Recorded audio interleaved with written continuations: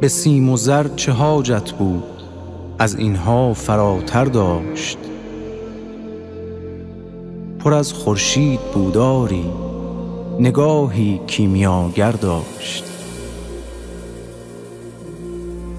زمانی که همه خورشید را تکذیب می کردند خدیجه چشمهای مصطفی را خوب باور داشت.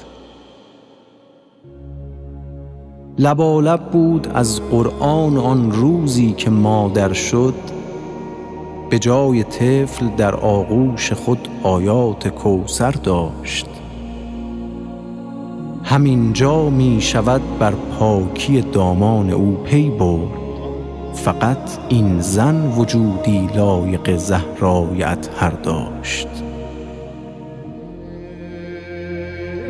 نماز اولش را با علی پشت پیامبر خواند. شکوه این ستن با هم هزار الله اکبر داشت.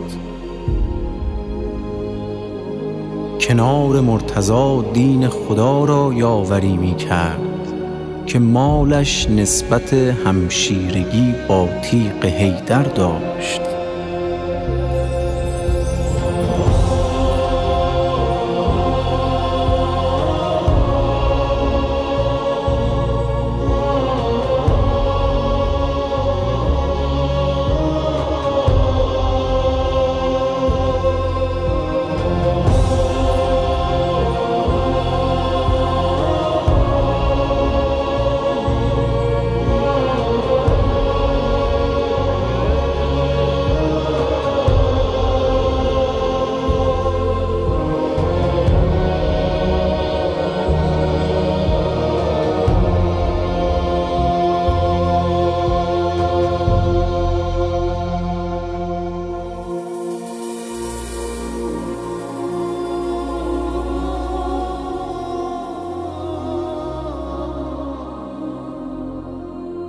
علی داماد او شد کاش بود آن روز را میدی.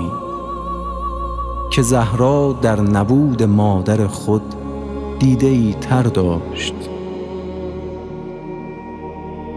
خدیجه در مسیر دین شترها داد بی منت. زنی روی شتر اما هوای فتنه در سر داشت. حسن روز جمل فریاد یا زهرا به لب آورد.